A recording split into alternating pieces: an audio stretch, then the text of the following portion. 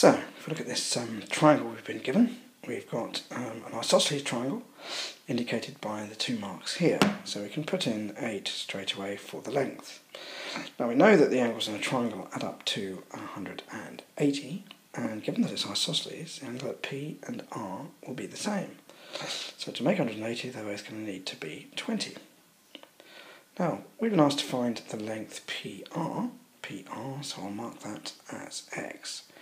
And as you have um, all sides and angles apart from x, the simplest rule to use here would be the um, would be the sine rule. So I'm going to write out um, the sine rule, x over the sine of the angle opposite x, which is 140. So the sine of 140, so rather x over the sine of 140, will equal any other pair that we have. So that will equal 8 over the sine of 20. So we can move our sine 140 across to the other side and then use our calculator to finish. So x will equal 8 lots of sine times 140 all divided by sine of 100. So I have sine of 20. So sine 8 times sine 140 times sine 20.